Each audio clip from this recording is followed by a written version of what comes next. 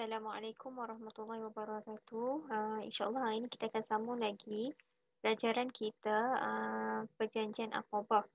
Okey, uh, kalau siapa masih ingat, uh, dua minggu yang lalu kita ada belajar mengenai uh, sebab-sebab hijrah Rasulullah. Antara sebabnya ialah adanya perjanjian Aqabah. Jadi kita nak tengok hari ini apa yang ada dalam perjanjian Aqabah ni. Okey, Perjanjian Aqabah ni ada dua iaitu perjanjian Aqabah pertama dan Aqabah yang kedua. Okey, kita mulakan dengan perjanjian Aqabah yang pertama. Okey, pada musim haji tahun ke-11 kenabian iaitu pada bulan uh, yang orang nak buat haji itu pada tahun ke-11 kenabian iaitu tahun ke-11 lepas Rasulullah dijantik menjadi Rasul. Enam orang penduduk Yathrib memeluk Islam dan mereka telah menyebarkan agama Islam setelah pulang Yathrib. Okey, ada enam orang penduduk Yasrib ni dia telah pergi ke pergi ke Mekah dan berjumpa dengan Rasulullah dan uh, dekat situ dekat Mekah tu uh, mereka berenam ni telah pun memeluk Islam. Jadi bila mereka dah memeluk Islam, mereka pun pulang semula ke ke Yasrib dan menyebarkan agama Islam di di Yasrib. Okey. Hasilnya, okey hasil daripada enam orang berjumpa dengan Rasulullah tu, pada musim haji tahun ke-12 kenabian iaitu pada bulan uh, orang buat haji pada tahun uh, selepas setahun enam orang berjumpa dengan Rasulullah tu tahun ke-12 12 orang penduduk Yathrib telah menemui Rasulullah di Aqabah di Mina untuk mengadakan perjanjian setia yang dinamakan perjanjian Aqabah yang pertama. Okey, mula-mula enam orang penduduk Yathrib jumpa Nabi dekat Mekah. Okey, di perjumpaan Nabi kat Mekah, mereka telah memeluk Islam pada tahun ke-11 kenabian. Okey, kemudian mereka pulang ke Yathrib, mereka telah menyebarkan agama Islam di Yathrib. Okey, setahun selepas enam orang tadi tu pergi jumpa dengan Rasulullah, tahun ke-12 kenabian, 12 orang penduduk Yathrib berjumpa pula dengan Rasulullah di di Aqabah iaitu di Mina dan mengadakan perjanjian Aqabah yang pertama. Okey apa yang ada dalam isi uh, dalam perjanjian Aqabah yang pertama tu? Okey ini antara isi uh, isi perjanjian Aqabah yang pertama. Okey. Uh, antaranya tidak mensyirikkan Allah iaitu kena mengaku bahawa tiada tuhan yang melainkan Allah. Yang kedua tidak berzina. Yang ketiga tidak mencuri. Yang keempat tidak berdusta. Yang kelima berbuat baik. Dan yang terakhir tidak membunuh anak. Okey semua perjanjian Aqabah ni ialah uh, semua ni adalah janji untuk uh, orang-orang dekat Yathrib tu tak buat dah semua ni. Mereka kena tinggal dah semua amalan uh, nenek moyang mereka itu tak boleh dah bunuh anak, tak boleh dah berzina, tak boleh dah mencuri dan tak boleh dah uh, membuat jahat lah. Okay. Itu ialah isi perjanjian Aqabah yang pertama. Okey, kita tengok pula isi perjanjian Aqabah yang kedua. Okey, pada musim haji tahun ke-13 kenabian, okey, perjanjian Aqabah pertama ingat nah, pada tahun ke-11 dan ke-12 kenabian. Okey, masuk Aqabah yang kedua pada tahun ke-13 kenabian. Okey, 70 orang lelaki dan dua orang wanita muslim penduduk Yathrib telah berjumpa dengan Rasulullah secara rahsia. Mereka membawa pesanan masyarakat Yathrib agar Rasulullah datang ke Yathrib untuk mengajarkan tentang Islam.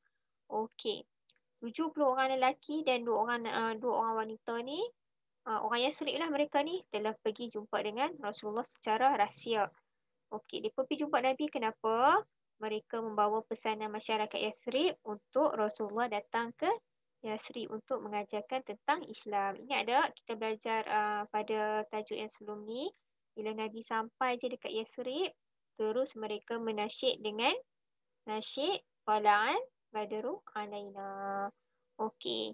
Persetujuan Rasulullah telah untuk berdakwah ke Yasrib membawa kepada pembentukan perjanjian Aqabah kedua. Okey, kita tengok pula perjanjian Aqabah yang kedua ni ada apa. Okey, antaranya yang pertama, penduduk Yasrib sedia menerima dan melindungi Rasulullah sebagai pemimpin Islam. Okey, maksudnya penduduk Yasrib kena terima Nabi akan jadi pemimpin Islam. Pemimpin dekat Yasrib lah ketika tu maksudnya tak boleh ada pemimpin yang lain. Okey, yang kedua, penduduk Yasrib berjanji untuk berjuang dan membela dalam dan mempertahankan Islam. Okey, penduduk Yasrib ni kena berjanji mereka akan sama-sama Rasulullah untuk berjuang uh, untuk mempertahankan Islam dan membela Islam. Okey, maksudnya kalau ada orang kafir nak kacau uh, Islam, mereka kena pertahankan agama Islam. Okey, yang ketiga, penduduk Yasrib sedia berusaha menyebarkan Islam kepada saudara mara mereka. Okey, penduduk Yasrib ni kena berjanji mereka akan ajak saudara mara mereka tak kisahlah dekat mana pun bukan di Yasrib saja untuk memeluk Islam. Okey, yang terakhir, penduduk Yasrib sedia menerima segala risiko dan tentangan daripada musuh. Okey, penduduk Yasrib ni kalau ada musuh yang tak suka ke Islam, yang buat macam-macam dekat orang Islam, mereka kena mereka kena kuatlah, mereka kena berani untuk menghadapi risiko daripada musuh-musuh Islam. Okey. Yang terakhir, pelaksanaan perjanjian Aqabah. Okey, pelaksanaan perjanjian Aqabah ni merangkumi perjanjian Aqabah yang pertama dan juga Aqabah yang kedua. Okey. Rasulullah telah meminta untuk memilih 12 orang ketua dalam kalangan kaum masing-masing bagi melaksanakan isi-isi perjanjian dengan penuh tanggungjawab. Okey, Rasulullah sampai je kat Yathrib tu, Rasulullah pilih 12 orang ketua daripada kaum masing-masing. Okay, contoh ada kaum A sampai kita kata sampai kaum uh, H. Contoh okey. Kemudian setiap kaum tu mereka ada ketua mereka masing-masing. Okey, kena pilih ketua masing-masing tu. Untuk apa ketua ni? Ketua ni kena buat kena buat semua isi kandungan yang ada tadi dalam perjanjian akhobah pertama dan kedua. Okey, yang kedua, pemilihan ketua terdiri daripada sembilan orang dari dari kabilah Khazraj dan tiga daripada kabilah Aus. Aus. Okey.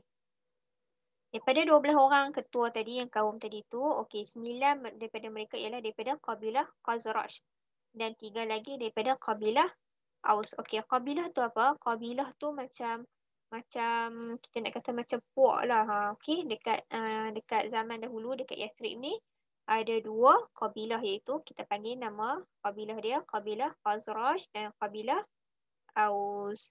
Okey, yang terakhir, setelah sempurnanya perjanjian Aqabah yang kedua, Rasulullah berjaya membina asas negara Islam di Yathrib.